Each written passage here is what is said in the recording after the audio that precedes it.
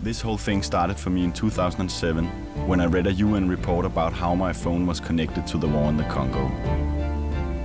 The report said that minerals used to make mobile phones are financing a war that has cost 5 million lives.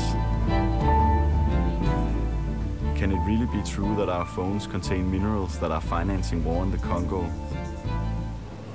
I'm on my way to the Congo. I want to see where these minerals are coming from and to see with my own eyes if they are financing war.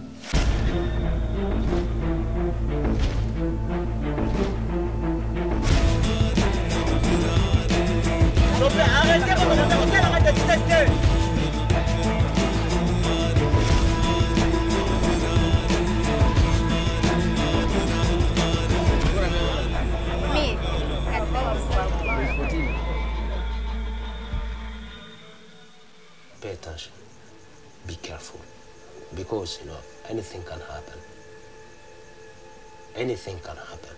And you film it, and then they see, okay, this can be a danger for us. You are dead.